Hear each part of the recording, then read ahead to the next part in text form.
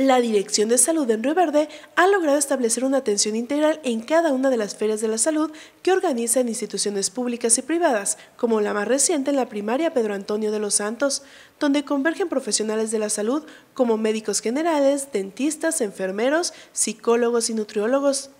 Esta semana estuvimos con ellos para conocer los alcances y objetivos de estas jornadas de salud que en materia de alimentación buscan informar y hacer conscientes a los niños sobre los productos que consumen. Estamos realizando de nuestra parte lo que es medición de peso, talla, eh, IMC, asimismo una pequeña orientación con los, con los, con los alumnos para detectar si hay por ahí algún problema nutricional. De igual manera, pues la recomendación es con los padres que si eh, logran eh, checar algún detalle de alimentación con sus hijos, pues se acerquen con nosotros para darles una orientación y este, una guía un poquito más específica a cada uno de ellos.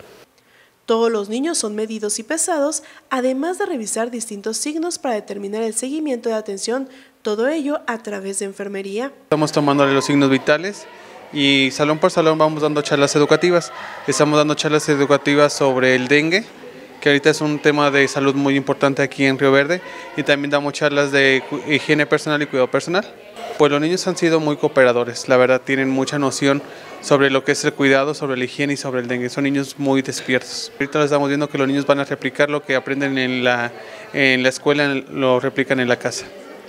Además, uno de los puntos claves de la atención tiene que ver con la salud bucal, que considera prioritaria este aspecto de cada niño.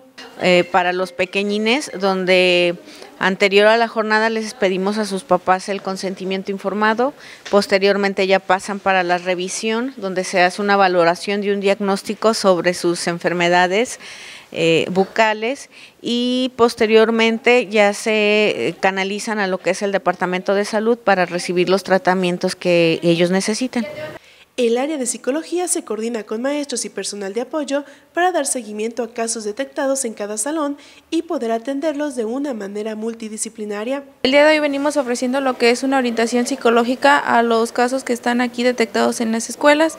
De igual manera, si los maestros consideran algún caso, lo podemos referir a nuestro departamento de salud para continuar ahí una atención.